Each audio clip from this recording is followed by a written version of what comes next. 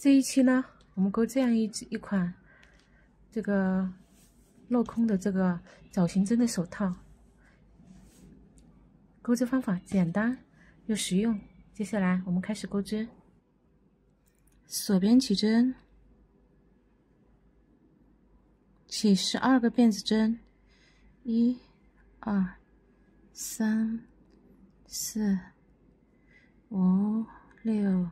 七八九十，十一十二，十二个辫子针完成之后呢，接下来我们钩第一行，先钩四个辫子，它是作为过渡的，然后在倒数第五个针目里面挑一根辫子，钩一个短针。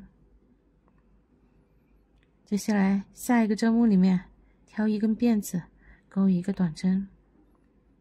每一个针目都是挑一根辫子，钩一个短针，一直钩完所有的辫针针目。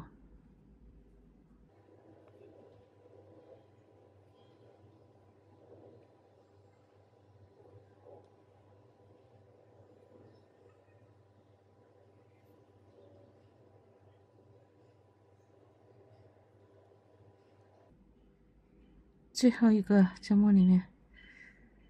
挑一个辫子，钩一个短针。那这第一行完成之后是十二个短针。接下来我们钩第二行，同样是钩四个辫子作为过渡，然后翻转织片，在倒数第五个针目，也就是第一个短针针目里面挑一根辫子。我们看一下，每一个针目是有两根辫子，我们挑外侧的那一根辫子，钩一个短针。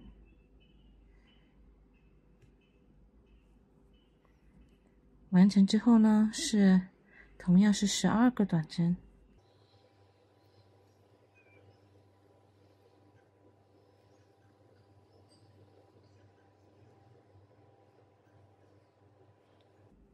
完成之后呢，接下来我们钩下一行第三行，同样是先钩四个辫子作为过渡，然后翻转织片，在倒数第五个变针针目。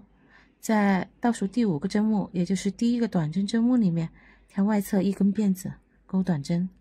那我们就这样一直钩下去，钩到长度呢，这个长度差不多跟自己的手腕的宽度差不多就行。最后一个针目，挑一个辫子，钩一个短针。然后呢，完成之后呢，我们来看一下这个长度啊，从这个。四个辫子形成的这个过渡针型开始数，一二三四五六七八九十，十一十二十三十四十五十六十七十八十九二十，二十个，这里有二十个。那这一侧呢？因为第一行这里没有，所以它有十九个。然后我们对比看一下，嗯，差不多了。这个，然后我们就可以收口了。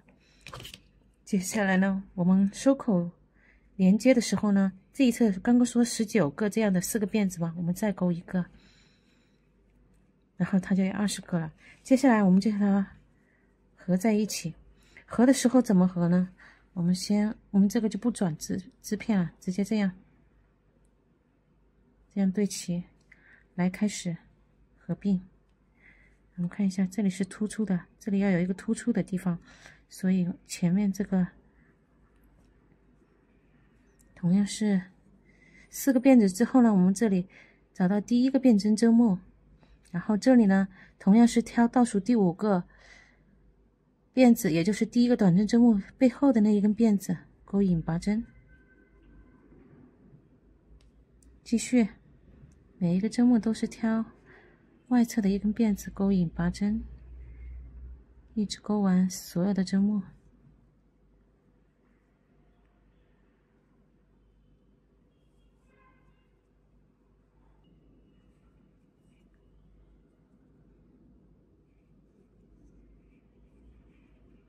最后一针完成之后呢，我们剪线拉紧，然后我们看这一侧，其实跟这一侧跟这个也很像。然后我们看这一侧，这侧更像一点，所以我们用这一侧来钩作为起点来钩下一行。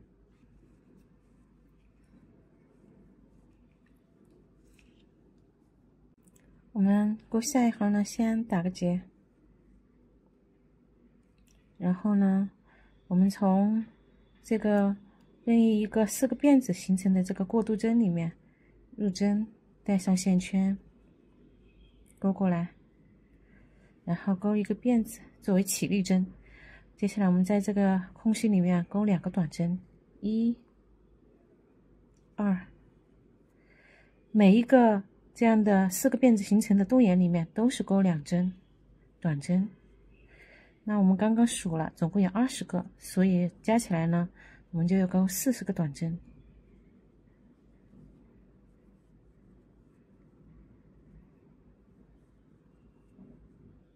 那最后一个，这个四个辫子形成的洞眼里面，两个短针完成之后呢，与第一个短针针目的两根辫子引拔。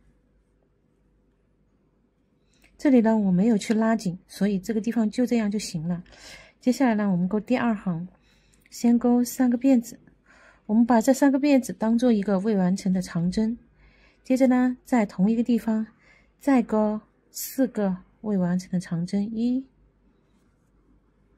二、三、四，那这样呢，就有五个未完成的长针，然后一并勾出。这呢就是一个五长针的枣形针，接着锁三针，继续呢空两个针目，一二，在接下来那个针目里面呢，再勾一个五长针的枣形针，一、二、三、四、五，接着呢勾三个辫子，继续。这一次呢，我们只空一个针目，在下一个针目里面勾五长针的枣形针，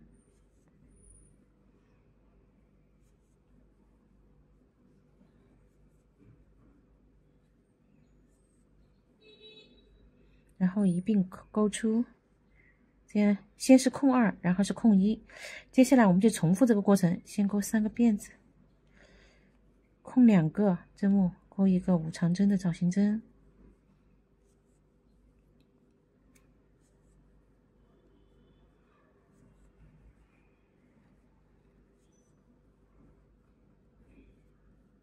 三个辫子，然后呢，再空一个针目，五长针的造型针，那我们就这样一直勾下去。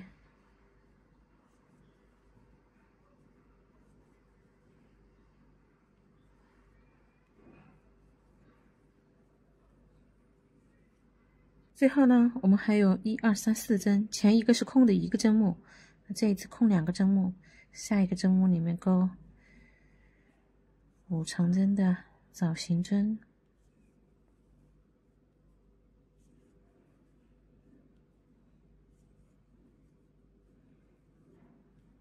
三个辫子。因为呢，这是最后一个空隙，我们这里不是还有一个引拔针吗？其实不管你拉不拉，它最后都是有一定的长度的。所以这个里的三个辫子呢，其实我们只可可以勾成两个辫子，再加上与第一个。针目这里啊，针目在这里进行引拔构成的这个长度，然后呢，它就相当于三个辫子的这个宽度，要不然的话就会一直往上勾，这个宽度这里的这个缝隙会越来越大，比这里的缝隙还要大。所以我们在最后一个嗯枣形针跟第一个枣形针的这个空隙的那里，我们都用两个辫子代替三个辫子，只这里代替，其他的地方不变。好，这样呢，这第一行就刚好完成。我们一共有十六个这样的枣形针。接下来呢，我们再勾一个过渡行。过渡行完成了之后，又是枣形针，过渡行，枣形针。好，接下来我们勾过渡行，先勾一个辫子作为起立针，然后在这个枣形针针目里面勾一个短针，三个辫子，继续枣形针针目在这里啊，三个辫子。这个过渡行，我们就这样一直勾下去。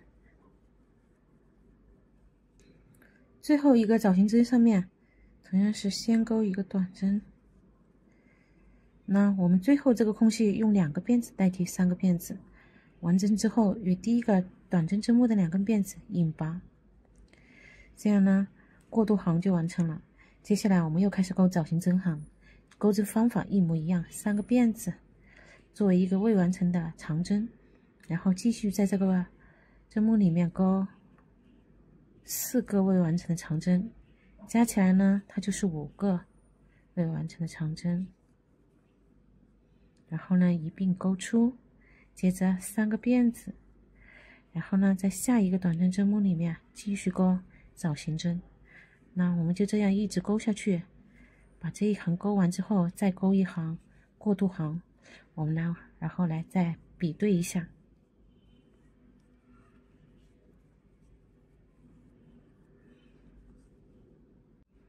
这里呢，这个第二行的这个枣形针完成了，然后过渡行也完成了。我们来比对一下，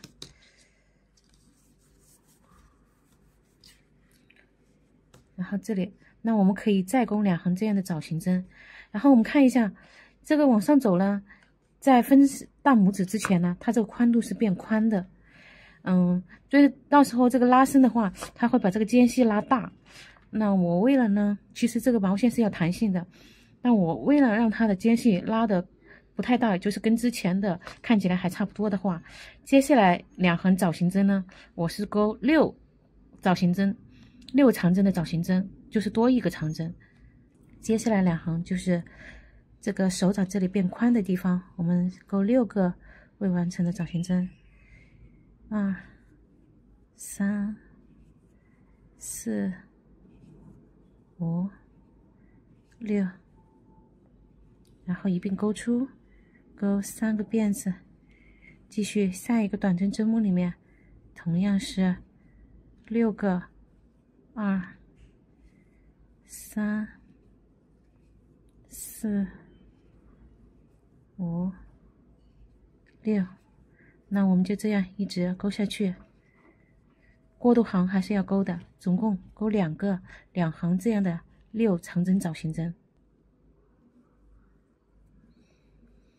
那这里呢，我又钩了两行这个六长针的枣形针，然后这个是过渡行，还没有钩完，还剩一二，有三个空隙，两个短针需要钩。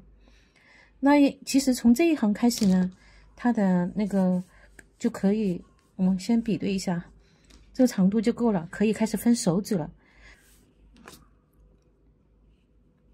这里呢，我们看一下啊，这三个辫子，一。二三，然后这里一个短针，然后我们钩一个辫子，接下来继续三个辫子，一二三，三加四七个了，然后这里有个短针八个，然后呢这里有两个辫子九十，接下来呢我们就与第一个短针针目进行引拔，这里呢事实上我们就已经钩了十个辫子，十个辫子，我们再把这个拇指带进去看一下。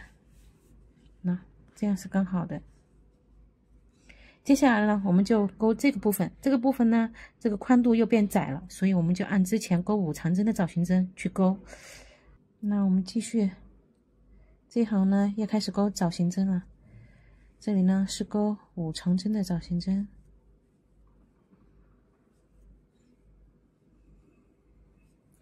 我们钩到这个辫子针这里形成的辫子的这个地方。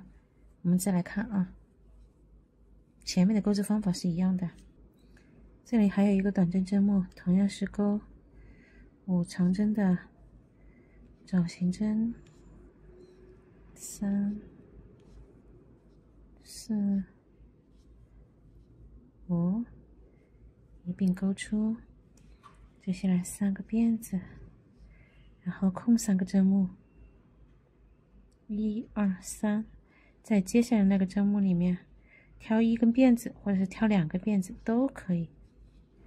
继续钩五长针的枣形针，二、三、四、五，一并钩出三个辫子。继续空三个针目，一二三。接下来那个针目里面。同样是五长针的枣形针，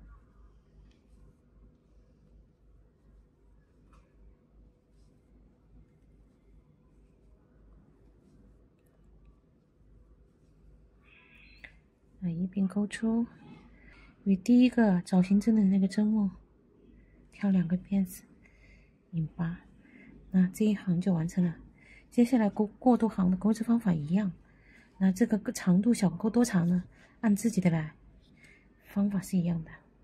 这里呢，分手指之后，我又钩了两排的这个五长针找寻针，我们来再试戴一下。哎，差不多了，那我就可以收尾，也就是钩最后一行了。那接下来呢，钩收尾，也就是最后一行。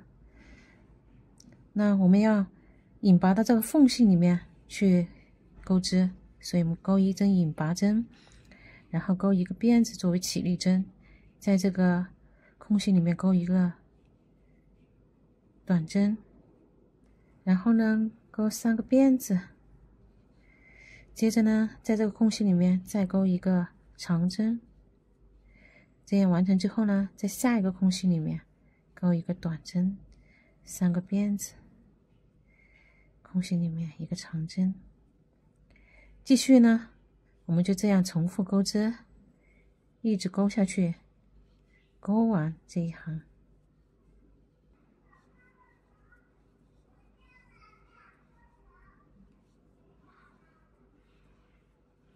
最后呢，我们与第一个短针针目的两根辫子引拔，然后呢，就直接断线。那这是四十克一团的线，还剩这么一点点。如果大家想要钩长一点的话，可能要买两团，然后拉紧。接着呢，我们把这个线藏一下，藏到织物反面。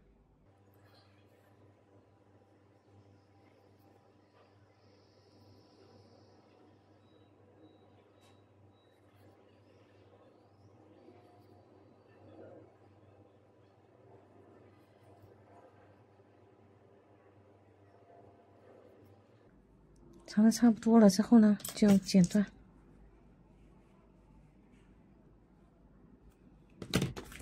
然后这一侧这个起始的断线的那个线头，我们也要把它藏好。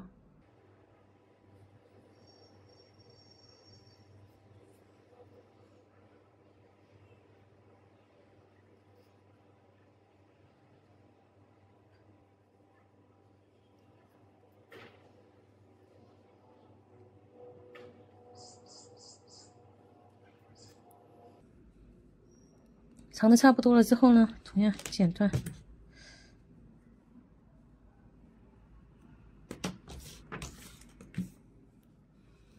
那我们再试戴一下，这个就这钩完了。那这里还有一只戴左手，那这个戴右手，就这样子的。